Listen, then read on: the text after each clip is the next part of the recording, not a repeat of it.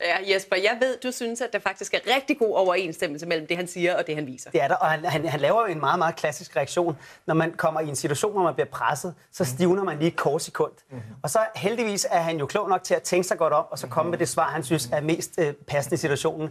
Men, men, men han tydeligvis, han, han synes selvfølgelig, det er, det er et presspørgsmål. Og man kan også faktisk se, at lige efter, han har svaret på spørgsmålet, så sker der det, at han, han tykker læberne sammen, og man har et ordsprog, der hedder, if you don't like what you see or hear, your lips disappear.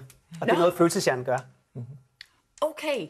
Men han, han griner jo også. Ja, det gør han. Og er det okay i så alvorlig en Det situation? synes jeg er fint, for det, det giver sådan en forløsning i kroppen, mm-hmm. så han ligesom connecter med dem, der sidder og kigger på ham. Ja, han har jo en latenstid, fordi han tænker sig om, altså han får spørgsmål, og så er der den der lidt for lange latenstid, inden han siger noget. Og det er tydeligvis, han er, overvejer, han er i overvejelse om, skal jeg svare det, jeg mener, eller skal jeg svare det, han vil have? Og det skal han have kombineret.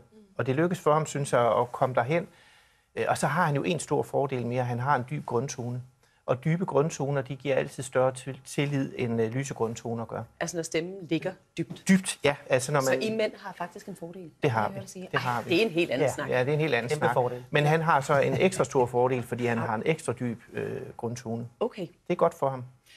Så her har vi en undskyldning, der måske går over i historien. Det her det er jo en undskyldning, som hele verden har siddet og kigget med på i hvert fald, og som har vældig stor betydning på alle mulige lederkanter.